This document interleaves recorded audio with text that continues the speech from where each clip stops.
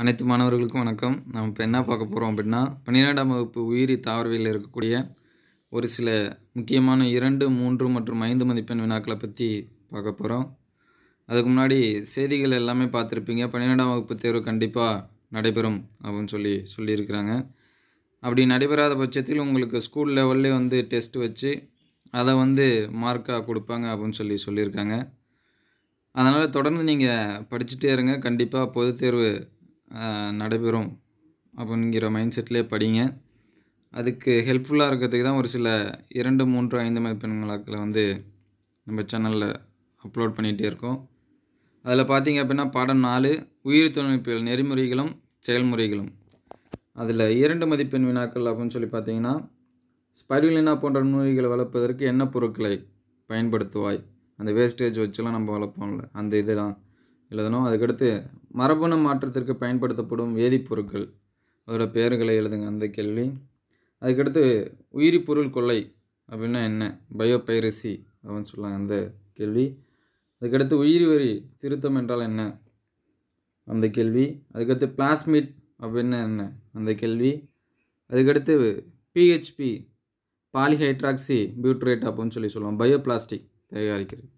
இதெல்லாம் இரண்டு மதிப்பெண்களில் கேட்கறதுக்கான வாய்ப்புகள் இருக்குது அதனால் இந்த வினாக்கள்லாம் தேர்வில் கேட்க வாய்ப்பு உண்டு படிச்சிங்க.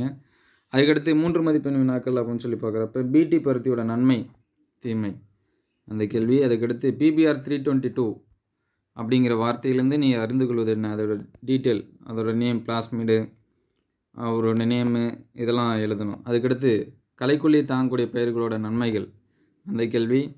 அதுக்கடுத்து தற்கால பயிற்சி உயிர் தொழில்நுட்பில் எவ்வாறு பயன்படுத்துவாய்? அந்த கேள்வி. தனிசெல் புரதத்தின் பயன்கள்.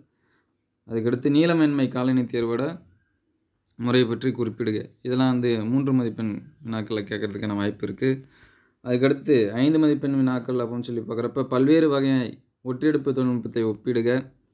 உயிர் தொழில்நுட்பங்களின் பயன்பாட்டை குறிப்பிடுக. மறுக்கூட்டணிவு ஆர்டிஎன்ஏ டெக்னாலஜி அது தொழில்நுட்பத்தின் படிநிலைகளை விவரி. இதெல்லாம் ஐந்து மதிப்பெண்களில் கேட்கறதுக்கான வாய்ப்பு இருக்குது அதே ஃபைவ் மார்க்ஸ் இங்கிலீஷ் மீடியம் அப்படின்னு சொல்லி பார்த்தீங்க அப்படின்னா அதே கேள்வி தான் what are the material used grow microorganism like spirulina அதுக்கடுத்து name chemical used in gene transfer what is biopiracy what is bioremediation what is plasmid what is PHB இது டீட்டெயிலாக எழுதணும். இதெல்லாம் டூ மார்க்ஸில் கேட்க வாய்ப்பு இருக்குது அதுக்கடுத்து பார்த்தீங்க அப்படின்னா த்ரீ மார்க்ஸ் அப்படின்னு சொல்லி பார்க்குறப்ப what is the advantage and disadvantage of BT brinjal நன்மை தீமை எழுதணும்.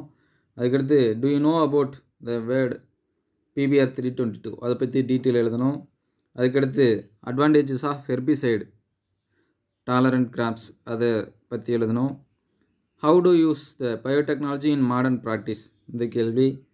அதுக்கடுத்து write the uses of SAP single cell protein அது write blue white colony selection method அப்படின்னா என்ன அப்படிங்கிறத பற்றி எழுதணும். இதெல்லாம் த்ரீ மார்க்ஸில் கேட்க வாய்ப்பு உண்டு. அதுக்கடுத்து ஃபைவ் மார்க்ஸ் அப்படின்னு சொல்லி பார்க்குறப்ப mention the application of biotechnology compose the various types of blotting